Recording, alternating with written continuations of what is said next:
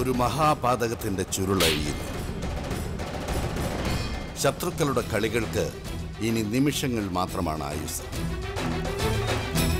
പക്ഷെ ഒരു വലിയ കെണി ഒരുക്കി വെച്ച് ഈ കാട്ടുപൂച്ചകൾ കളി തുടരുമ്പോൾ ഇവർ എങ്ങനെയാണ് അതിനെ നേരിടുക? കഥയുടെ അവസാനത്തിൽ പൊന്നുവിന് വന്നു ചേരുന്ന ദുരന്തത്തിൽ നിന്ന് അവൾ എങ്ങനെ രക്ഷപ്പെടും?